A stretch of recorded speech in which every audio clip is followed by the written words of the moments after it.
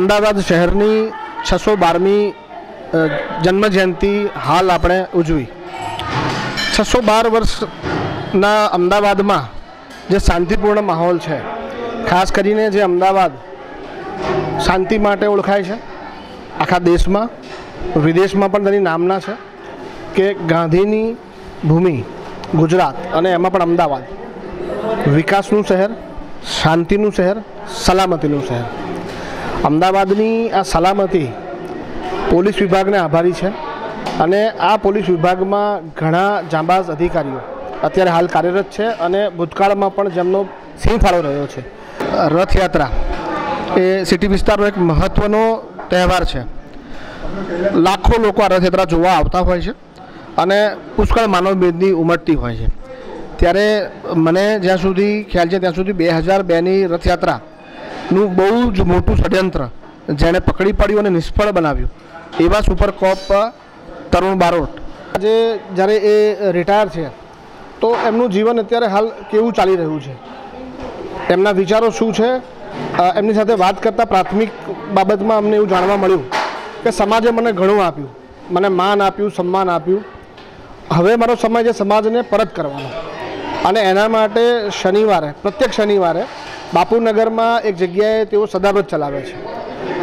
અમને આ બાબતની જાણ થતાં આજે અમે એમની મુલાકાતે આવ્યા છે. તો આપણે super cop encounter specialist Tarun Barot સાહેબ સાથે વાત કરીશું.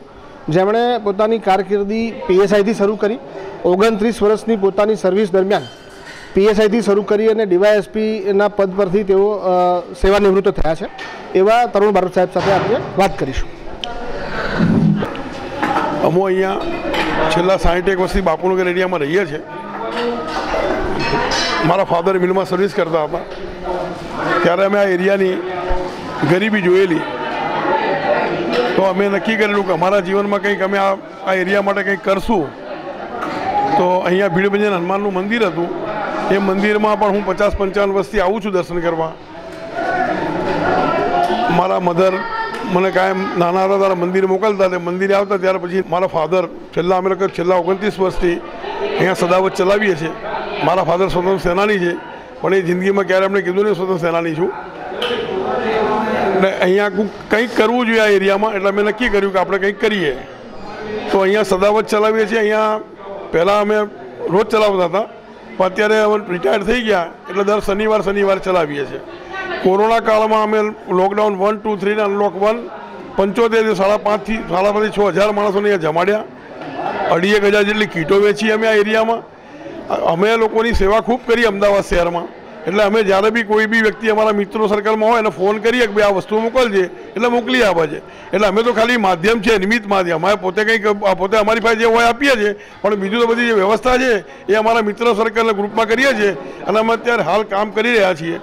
જે એવું કામ કરી રહ્યા છે કે લોકોને કોઈને તકલીફ પડતી હોય, કોઈ પણ પ્રકારનો પ્રોબ્લેમ હોય, તો આપણે વિનામૂલ્યે એને સલાહ આપી અને એનું દૂર કામ, કામકાજ એનું નિકાલ કરી આપીએ છીએ.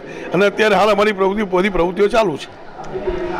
સાહેબ, હું પોતે પણ બોર્ન એન્ડ બોટોમેટ ખાડિયા. હું ખાડિયા રહેલો છું.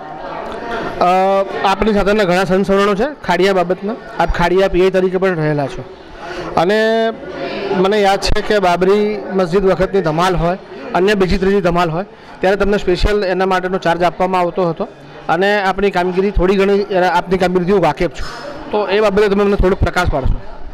કર્મણીના વાધિકા રસ્તે માં ફલે શું કદાચ અને હું ભગવાન કૃષ્ણનો ભક્ત છું અને ગીતાનો અધ્યાય છું. હું તો મારા પર નિમિત્ત છું. મેં બધું મને ઈશ્વરે કરાયું. મારામાં જે બુદ્ધિ અને બુદ્ધિ સંચાર કર્યો અને એને જે મને તાકાત, શક્તિ બધી આપી, એનું કામ છે. મારું કોઈ કામ નથી. હું તો ખાલી એક નિમિત્ત બની અને કામ કરી અને નીકળી જવા માગું છું દેશમાં સંસારમાંથી. દેશભક્ત તરીકે. અત્યારનું આ યુવાધન છે. થોડું ઘણું ભટકી ગયું છે એવું કહી શકાય. તમે જેમ જાણો છો પ્રમાણે. એના માટે આપને કોઈ ખાસ સંદેશ? યુવાધન માટે મારે એક જ કહેવું પડે. કે અમારા મા બાપે અમને ભગવાનના સંસ્કાર આપ્યા હતા અને ગીતા વાંચવાનું કીધું હતું. એમાં હું યુવાધનને એક જ સલાહ આપું છું કે તમારા જીવનમાં ગીતાના ઉપદેશ ઉચ્ચાર ઉતારજો. જીવનમાં ક્યાંય વાંધો નહીં આવે. તમને બધા તમારા જિંદગીના સાર છે ને એ ગીતામાં છે. અને બધું તમને જો દુશ્મને મળવાના, વિઘ્ન સંતોષીએ મળવાના, પણ હંમેશા કૃષ્ણ ભગવાને કીધું છે, ભાઈ તું તારું કર્મ કર, ફળની આશા ના રાખીશ. એમ અમે રાખી નથી અને અમે અમારાથી બનતી સેવા કરી છે અને અમારા જે ઉપીર અધિકારીઓ છે જે અમારી સાથે કામ કર્યા, એ લોકોને ખબર છે કે અમે શું સેવા કરી છે. અને આ ગુજરાત અને અમદાવાદમાં આજે જે બી છે, એ બધું ભગવાન કૃષ્ણના આભારી છે. અમારું કોઈ નથી, અમારું કોઈ કામ જ નથી. અમે જે કર્યું, એ ફક્ત નિમિત્ત માત્ર છીએ.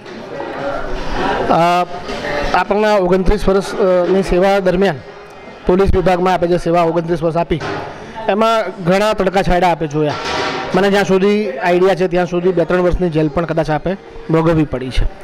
અને એ બાબતનો તમારો અનુભવ મને શેર કરશો. આ દેશમાં કૃષ્ણ ભગવાનનો મારા ગુરુનો જન્મ જેલમાં થયો હતો. એટલે મને તો કોઈ હરકશોક છે જ નહીં. અને મારા ઉપર તો સીબીઆઈ એવી એવી એવી બધી તકલીફો આપી હતી કે લગભગ છેલ્લા બાર તેર વર્ષો સીબીઆઈની ઇન્કવાયરીઓ ચાલી મારા ઉપર. અને ત્રણ વર્ષ હું જેલ કાપી રહ્યો છું. એટલે મને કોઈ હરકશોક છે જ નહીં. ઈશ્વર જ્યાં રાખે, ત્યાં ભગવાનનું નામ દઈ અને જે થાય આપણાથી સેવા કરવાની. તો મિત્રો, આ હતા super cop encounter specialist Tarun Barot. Retired DYSP Tarun બારોટને આજે જ્યારે આપણે મળ્યા છીએ, ત્યારે એમની સાથે એમના પિતાશ્રી પણ હતા. એમના પિતાશ્રી વિશે અમે માહિતી મેળવી. તો એ સ્વતંત્ર સેનાની છે. એટલે આજે આપણે એમની સાથે પણ વાત કરીશું.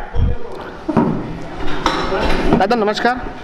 નમસ્કાર મીડિયા રેવોલ્યુશનમાં આપનું સ્વાગત છે. આપ બારોટ સાહેબના પિતાશ્રી છો જી.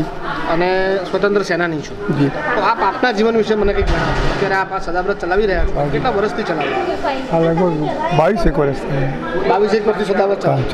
બરાબર છે. અને આપ સ્વતંત્ર સેનાની હતા. હા જી. એ બાબતની મને થોડી વિગત આપશો. હું પહેલાં રવિશંકર મહારાજ અમારા આગેવાન હતા. અને હું એમના આગેવાન નીચે લડત લડતો હતો. અને ગામડે ગામડે ફરી અને અમે બાયકોટ કરો અંગ્રેજ કા કલક ખુદા કા મુલક લોકો ઓર હુકમ મહાત્મા ગાંધી કા એ નારો લગાવતા હતા. સરસ સરસ. બરાબર તરુણભાઈ બારોટ આપના પુત્ર છે.